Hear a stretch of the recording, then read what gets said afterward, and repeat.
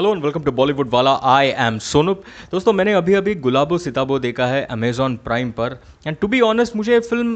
Okay okay लगा average लगा। Nothing too great at the same time not bad also somewhere in the middle somewhere in between मैं इसका perfect description आपको देता हूँ, ताकि आप लोग समझ सके एग्जैक्टली exactly कैसा है ये फ़िल्म सोचो कि आप एक क्रिकेट मैच देख रहे हो 50 ओवर मैच जिसमें बैट्समैन स्टार्टिंग में टुकु टुकु टुकु टुकु बैटिंग करके सबको पका देता है। बॉलर को पकाता है फील्डर को पकाता है ऑडियंस को पकाता है कमेंटेटर को पकाता है, सबको पकाता है। लास्ट के पाँच से दस ओवर में ये बैट्समैन एक्सेलरेट करने की कोशिश करता है और सिक्स और फोर मारता है। थोड़े बहुत सिक्स और फोर लग जाता है, जिससे लोगों का मनोरंजन भी हो जाता है। बट अल्टीमेटली पचास ओवर के समाप्ति पर जो स्कोर आपको स्कोरबोर्ड पर दिखाई देगा,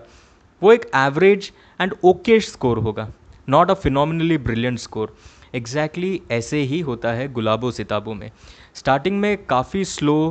बोरिंग थोड़ा ड्रैग होते हुए आपको ये फ़िल्म नज़र आएगा। बट लास्ट के 20 से 25 से 30 मिनट में फ़िल्म एंगेजिंग और एंटरटेनिंग बन जाता है। क्योंकि सारे कैरेक्टर्स एक साथ, एक रूफ के अंदर आता है और थोड़ा बहुत मज़ा आता है आपको देखने के लिए। कॉमेडी अच्छा है थ्रिल अच्छा है, एक अच्छा खासा ट्विस्ट भी है which will keep you decently entertained and engage but film ख़त्म होने के बाद जब आप सोचोगे फ़िल्म के बारे में तो ओवरऑल आपको एक okayish and average kind of feeling आएगा ये फ़िल्म को देखने का। तो that is exactly what even I felt and that is what I am telling you दोस्तों फ़िल्म का story is all right it's about this haveli which is owned by Amitabh Bachchan ji और उनका tenant है आयुष्मान खुराना और उनका family और बहुत सारे लोग भी है। टेनेंट निकलने का नाम नहीं लेता और टेनेंट को एविक्ट करने के लिए लैंडलॉर्ड यानी बच्चन साहब क्या क्या करते हैं that is what the film is all about और इस हवेली पर और कौन कौन नज़र डाला है और उन लोग आकर क्या क्या करते हैं? That you will get to see in the film finally क्या होता है, क्या नहीं होता है? Will the tenants get evicted will the landlord be successful that is the film story story तो ठीक है, लेकिन स्क्रीन प्ले मुझे काफ़ी वीक और ओकेश लगा। Nothing outstanding the screen play could have been much much better that is one of the first drawbacks of this film क्योंकि काफ़ी ड्रैक करता है। Specially for almost seventy five percent of the film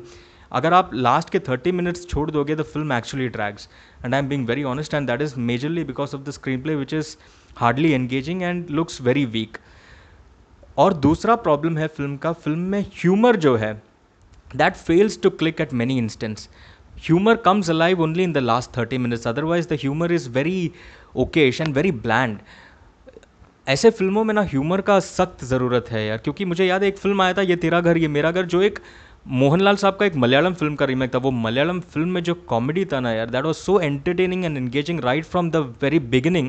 that people absolutely enjoyed it तो humour ऐसे होना चाहिए कि जब भी आता है वो क्लिक होना चाहिए लोगों के साथ। अगर वो ह्यूमर क्लिक नहीं होगा ना तो वो सीन फ्लैट पड़ जाता है and that is what happens majorly in Gulabo Sitabo for most part of the film like I said the humour doesn't click वो चाम बाहर निकल के नहीं आता except in the last 25 to 30 minutes, by, but by which time, it's a little too late in the day. Acting की बात करें, सबसे इम्प्रेसिव मुझे सरप्राइजिंगली सृष्टि श्रीवास्तव लगा। मेन कैरेक्टर नहीं है बट उनका जो रोल है ना it adds value to the film और उनका जो ऑन स्क्रीन कॉन्फिडेंट परसोना है एंड प्लस उनका जो डायलॉग डिलीवरी का अंदाज है that really left a mark on me extremely impressive acting by this lady called Srishti Srivastava अब लीड की बात करें Ayushmann Khurrana has done a decent job Bachchan sahab has also done a decent job लेकिन problem क्या है ना दोस्तों? ये रोल एक अवार्ड विनिंग रोल की तरफ़ से लिखा नहीं गया है। क्योंकि when you see legends like Bachchan sahab या फिर a great actor like Ayushmann Khurrana you want to see them in award winning roles to see their award winning performances अब ये रोल के बारे में मैं ऐसा नहीं कह सकता कि this is an award winning role in which they could have given an award winning performance so acting looks decent decent by everyone even by Vijay Raaz and Brijendra Kala and everyone else except for Srishti Srivastava everyone else look okay the begum the one who plays the begum the matriarch she is very she is fun to watch as well so these two characters, Srishti Srivastava as well as the Begum, made a slight difference in the film as far as acting goes. अब जब acting की बात करूँगा तो एक point का ज़रूर मैं ज़िक्र करूँगा यहाँ पर। इस फ़िल्म में फिर एक बार जोगी मलंग नज़र आए अब जोगी मलंग जी है एक casting director he is acting in this film as well Paatal Lok में भी मैंने इनको देखा था एज एन एक्टर तो मुझे लगा शायद वो ऐसे एक एक्सेप्शन होगा मतलब प्रॉब्ली एक्टर्स नहीं मिला होगा लास्ट मोमेंट पे and he thought of casting himself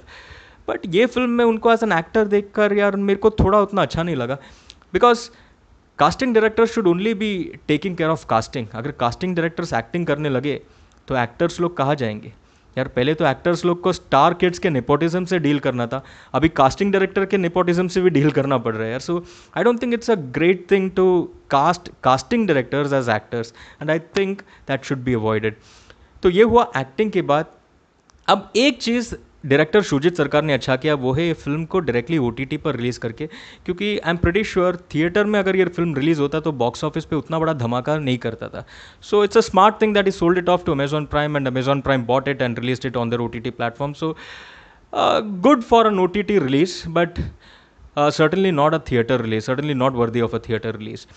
Also, one more B G M and music main music जो सॉन्ग्स हैं and the B G M that really didn't leave an impression on my mind specially humour के time पे, जब जो humerus sequences आपको देखने मिलता है, उस टाइम पे जो बी जी एम बचता है ना to indicate that humour that that sounded like a very childish B G M थोड़ा इरिटेटिंग लगा। I thought the music director could have chosen a very different tune to indicate humour so overall this is what I felt about Gulabo Sitabo a very okish average film nothing too great nothing too bad somewhere in middle I will give it two point five stars आप लोग को जब भी time मिला, आज, कल, परसों, देख लेना और मेरे को बताना कॉमेंट बॉक्स में आपका कमेंट लिखकर आपको गुलाबो सिताबो कैसे लगा। फॉर द मोमेंट सोनप सेज टाटा